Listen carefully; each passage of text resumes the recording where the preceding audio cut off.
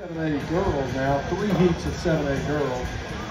James Coleman, Uriah Parker, and Three is the top seed.